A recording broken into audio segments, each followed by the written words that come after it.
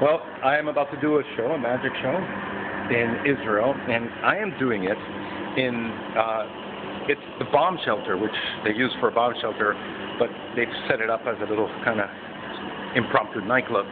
They, they've only had to use this bomb shelter that I, that I understand a couple of times.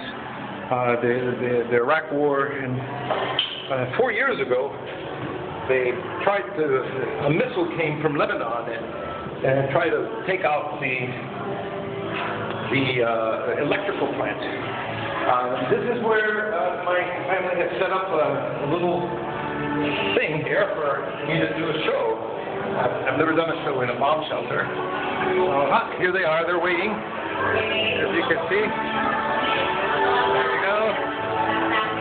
All right, well, this is it. It's quite a, an interesting uh, setup. Uh, I am going to take you upstairs, okay?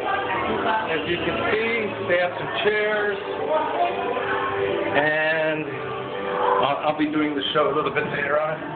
I am going to be setting up, apparently, somewhere in here. Ah, there we go. This must be where everybody just hangs in here and, and waits.